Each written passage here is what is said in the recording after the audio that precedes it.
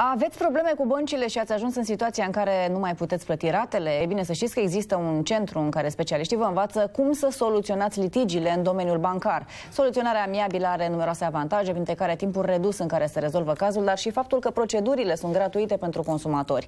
Pentru cei cu probleme, în doar câteva săptămâni, creditul poate fi transformat într-unul suportabil. Centrul de soluționare alternativă a litigiilor în domeniul bancar este o entitate non-profit înființată de Uniunea Europeană cu scopul de a degreva instanțele de judecată de procesele cu băncile. Acestea sunt foarte deschise la reducerea costurilor celor care nu mai pot plăti din diverse motive, spun specialiștii centrului. Și pentru că e important să știți unde și la ce ușă să bateți atunci când aveți senzația că nu mai aveți nicio soluție, în studioul Perfect Imperfect este Alexandru Păunescu. Bună dimineața! Membru în Colegiul de Coordonare al Centrului de Soluționare Alternativă a Litigilor. E genul de subiect care sunt convinsă că va face audiență pentru că la tăți ni greu, ca să spun așa, iar în relația cu băncile, de cele mai multe ori e bine să ai un prieten. Hai să lămurim puțin ce faceți în concret și să explicăm că e pe bune gratuit. Vreau să vă spun doar că n-a fost înființat de UE. Așa văzând Nu e problemă, rectificăm pe parcurs. Avem Oricum, și vine, vine după directiva Uniunii Europene. Vine ca urmare a unei directive, dar a fost transpusă directiva la nivel okay. euro, Deci e munca național. acestor oameni, asta e important să spunem. E munca legiuitorului legislatorului, ca să okay. nu să luăm, să-i dăm cezarului ce al cezarului. Uh, Centrul de soluționare alternativă soluționează alternativ, că despre asta e vorba. Alternativ ce înseamnă? În afara instanțelor. Ok. Uh, orice litigiu provenit din uh, relația contractuală pe care o are un consumator cu băncile comerciale sau cu IFN-urile sau cu instituțiile de plată. Ca să facem așa o variantă Adică dacă mai... aveți o problemă cu toată zona asta, să știți că... Toată zona uh, reglementată și supravegheată de Banca Națională a României. Uh, funcționează acest centru de aproape 2 ani de zile. În martie 2016 am avut prima cerere înregistrată. Uh, cifrele cred că le-ați văzut, uh, sunt publice de ieri, uh, nu cred că are sens să vă spun, decât că am înregistrat un salt semnificativ, un salt foarte mare Asta chiar. e important pentru cei de acasă, că înseamnă că există dosare rezolvate, iar oamenii pot să zică, ok, deci cineva a plecat fericit de acolo, deci aș putea să încerc și eu oricând. Da, există dosare soluționate, există cereri din ce în ce mai multe, duble, dublu numărul de cereri de la 2016 la 2017, Deja avem 90 de cereri înregistrate în primele 3 săptămâni ale acestui an, deja sunt 61 de dosare formate anul acesta și cererile vin cu o regularitate de în jur de, să spun, o medie de, de uh, 12 pe săptămână, ceea ce Maj- este un lucru îmbucurător. Majoritatea celor care vin către voi uh, reclamă mm, imposibilitatea de a mai plăti uh, creditul, cam asta este principala problemă sau? Uh, cei mai mulți dintre cei care uh, vor să beneficieze de cele două proceduri ale centrului, într-adevăr, au probleme la plata creditului dar legea nu vorbește de o limitare a accesului la centrul de soluționare alternativă. E suficient să fii consumator, persoană fizică. Asta înseamnă consumator. Uh, și centrul de soluționare alternativă este abilitat să soluționeze dosarul respectiv într-o perioadă foarte scurtă de timp, de maxim 90 de zile. Am avut dosare care s-au soluționat într-o zi. Am avut dosare care s-au soluționat în șapte zile. Adică au fost uh, spețe destul de simple în care banca a acceptat să intre în dosarul respectiv și o să mă întrebați probabil... Stai că am foarte multe întrebări, dar banca poate să nu accepte să da. intre în discuție da. în dosar. De ce? Uh, pentru că, așa cum e directiva la nivel european, aceste proceduri sunt voluntare. Este un... Uh, eu spun că e disjunctă uh, negocierea cu obligarea. Ai nu poți să obligi părțile să negocieze. Corect, corect. Voi sunteți un fel de mediator, dar nu e chiar așa. Nu e mediere. Diferența între mediere, ca să nu mai fac filozofia la ceea ce înseamnă mediere și conciliere, este că când un mediator Mediatorul nu putea să propună o soluție sau să impună una. Okay. Conciliatorul are această uh, capacitate, evident cu acordul părților, să propună o soluție sau să impună una. Deja când vorbim de impunerea unei soluții, vorbim de arbitraj, intrăm pe o procedură care e destul de contencioasă, e uh, cu mai mult formalism, dar și... hai să luăm o speță bă, clasică, okay. ca să înțeleagă cei de acasă. Să zicem că la un moment dat ți-ai luat o casă. Dar din motive care țin de viață, destin, închiderea businessului sau închiderea firmei unde lucrai sau whatever, ai rămas fără bani. Și tu, în acest moment, nu mai poți plăti decât o mică parte din rata respectivă pe care o aveai. Banca în această speță poate să zică nu pentru că își vrea toți banii și atunci tu te duci cu toată inima către voi, dar te întorci la fel? Acum, dacă, era, dacă întrebarea asta mi-a în trecut, aș fi spus că, domnule, cam așa stau lucrurile Băncile anul trecut refuzau aproximativ 70-80% din dosarele Asta din... înseamnă că sunt dispuse să negocieze pentru că situația e complicată. Da.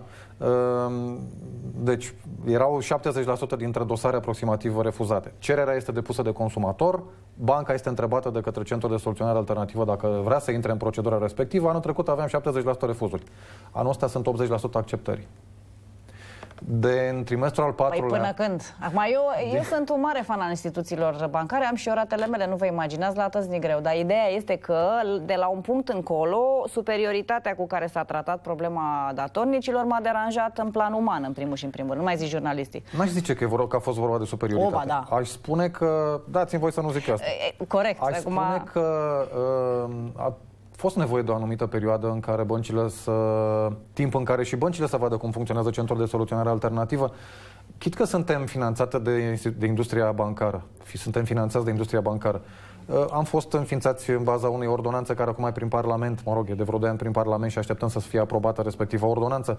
Uh, părțile în acest litigiu sunt consumatorii și băncile deopotrivă.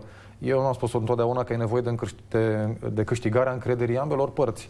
Și băncile au așteptat să vadă cum funcționează. Avem conciliatori, unii dintre ei sunt uh, nume de răsunet, avocați cu uh, experiență și cu uh, proeminență, chiar cadre didactice. E important pentru bănci să vadă că cei care soluționează dosarele respective, pentru că noi, Centrul de Soluționare Alternativă, nu suntem implicați. Da, e foarte ușor și e foarte bine să spunem că cei care soluționează sunt conciliatorii, care sunt colaboratorii Centrului de Soluționare Alternativă, nu angajați. Aceștia sunt cei care sunt judecătorii, okay. sunt instanțele. Sunt cei care propun și soluția, da. să spunem așa. Mă întreabă colegii din regie întrebări practice și chiar vă rog okay. să ne transmiteți și pe Facebook întrebările. Uh, ce câștig dacă nu mai bine merg direct la bancă și încerc să rezolv problema. De ce aș merge la voi? Aș rezolva mai repede? Aș avea mai multă forță în relația cu banca? Nu, ideea e următoarea. Avantaje Noi, în plus? Uh, ca să ajungeți la centru trebuie ca un pas pre, uh, premergător să fie făcut, și anume legătura cu banca comercială. Și înainte de a veni la centru, noi punem această întrebare, avem această uh, chestiune în procedurile noastre. Te-ai... Adresat ai, băncii? Exact. În Dacă, încercarea ta de a... Da, e, întotdeauna este vorba de o încercare amiabilă și noi încurajăm și legea uh, este făcută în așa fel încât să spună, du-te înainte la bancă, vorbește cu banca. Mă rog, banca, IFN, toate da, toată zona de financiare. Dacă nu te-ai înțeles cu banca, dacă n-ai primit un răspuns de la bancă, dacă n-ai fost satisfăcut de ceea ce ți-a dat banca, atunci vină la centrul de soluționare alternativă. Au fost situații în care, într-adevăr, banca a refuzat să uh, soluționeze sau n-a venit cu o ofertă care să fie pe placul uh, consumatorului și a fost de acord cu propunerea atunci când a fost făcută prin intermediul uh, centrului. De asemenea, au fost consumatori care n-au acceptat propunerea băncii, făcută în mod direct, dar au acceptat-o când a venit uh, din partea Pentru centrului că probabil au realizat la momentul celei de-a doua negocieri că de fapt atât pot obține. Uh, și unii și alții. Și indiferent. asta e varianta. Sau au avut nevoie de o interfață. Au nevoie de o terță parte care să le spună că asta este oferta băncii, pentru că de cele mai multe ori am care înregistrat... să confirme cumva că, că e, e okay. o ofertă credibilă, da, în regulă, da, da, că da, da. e mai bine să ne înțelegem uh, așa. Nu e ușor. Adică e un, e un mediu complicat asta, un mediu financiar. Termenii sunt destul de uh, complicați. Contractele, sunt foarte greu de citit pentru... asta este ceea ce se întâmplă în industria financiară, adică așa se întâmplă peste tot. Termenii sunt uh, unii destul de complicați Piața financiară e una care necesită puțină cunoaștere. Nu vorbesc acum de gradul de educație financiară scăzut și așa mai departe. Asta e o nebunie. Până la urmă e interesul băncilor. E interesul nostru al centrului să facem educație financiară. Să informăm, de fapt, ca să nu mai spunem educație financiară. Asta înseamnă că mă duc și le iau pe ăla și care Ideal îl prezum că facem... e prost. Nu, ideal ar fi să avem educație financiară încă din școală. Asta e altă discuție, ca ulterior să putem să înțelegem și termenii când mergem să cumpărăm... Da. Noi avem această obligație. Noi facem acest lucru dacă intră uh, suficient de mulți consumatori și intră pe site-ul Centrului de Soluționare Alternativă, o să vedeți ce face acest centru, ce înseamnă uh, mediul financiar, am avut anul trecut uh, chiar Ultimul o prezență. minut, ce repede a trecut. Da. Uh... Am avut o prezență în care am făcut niște, am dat niște sfaturi consumatorilor, ceea ce, fac, ceea ce ar trebui să facă în continuare. Anul ăsta ne propunem să venim mult mai des în fața dumneavoastră a mediei și să explicăm mai multe și cazuri. ușa noastră e deschisă, ca să zic uh, așa. Avem nevoie de dumneavoastră pentru că sunteți un purtător de cuvânt. Fără dumneavoastră mesajul nostru este mult mai greu să fie transmis prin alte mijloace. Bun, pentru că e ultimul minut și pentru că cred că s-a înțeles ideea cu dacă nu știți încotro să o luați și ați mers la bancă, n-ați rezolvat, mergeți la centrul de soluționare alternativă a litigilor și găsiți acolo măcar o mână întinsă. Ce să nu faci? Sau care ar fi uh, primele lucruri la care trebuie să te uiți atunci când ai nevoie de niște bani pentru o casă, pentru niște nevoi personale nu contează, din erorile pe care le-ați văzut în ultimii ani? Atenție, uh, mâna întinsă al cent- a centrului este... uh, Mâna ca să- întinsă care nu spune o poveste. Nu, bine, nu, Așa. nu suntem în filantropica, da? Am putea. Arată la Având în fel. vedere că e gratis, da. Uh, ideea e următoarea. Avem uh, accesarea centrului de soluționare alternativă este facilă, este foarte facilă pe uh, internet. 60 și ceva la sută, 70% din dosarele pe care le avem formate sunt uh, rezolvate pe internet. Nu e nevoie să veniți la centrul de soluționare alternativă. Ok, A, dacă trăim vreți să în vă lumea asigurați- online-ului ca să... Clar, asta este una dintre trăsăturile importante, de asta Centrul de Soluționare Alternativă n-a deschis uh, uh, sedii la nivel uh, național, că toată lumea ne întreba de ce nu mai avem niște puncte de lucru, pentru că nu e nevoie.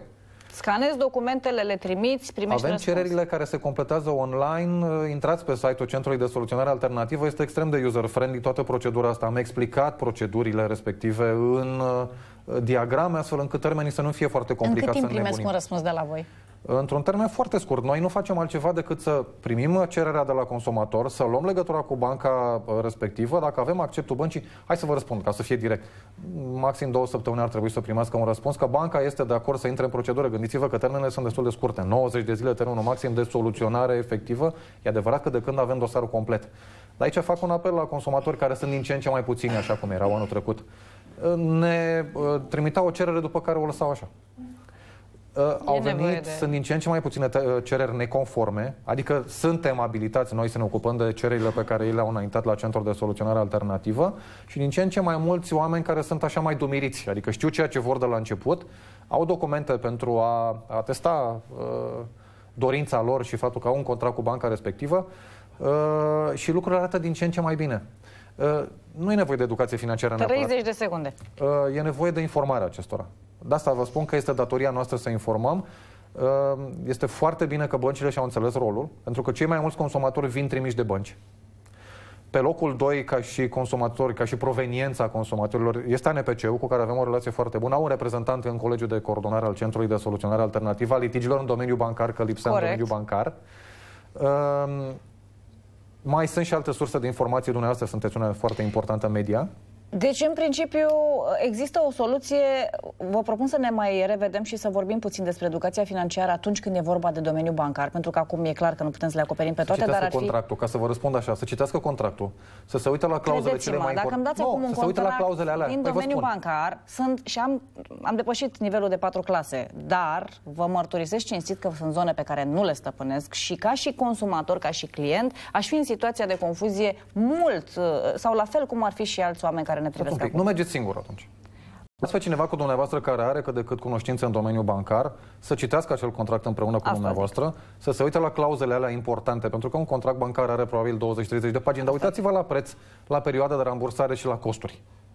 Foarte important. Vă propun să ne mai întâlnim, o să, pentru că eu cred Mare foarte tare în plăcere. educația financiară și ea trebuie făcută în mod sistematic, pentru că noi suntem generația care ne uităm la bani, dorim, dar nu știm să-i administrăm și nici, cum, nici nu știm să citim foarte bine toate contractele sau ar trebui să învățăm să facem asta. Mulțumesc tare mult! Alexandru Păunescu, Centrul de Soluționare Alternativă a Litigilor în domeniul bancar. Căutați pe internet și Doamne ajută să vă rezolvați toate problemele. Noi ne întoarcem la fix ora 11. Până atunci găsiți-ne pe Facebook și pe Instagram. Perfect Imperfect. Stați cu noi, ne întoarcem.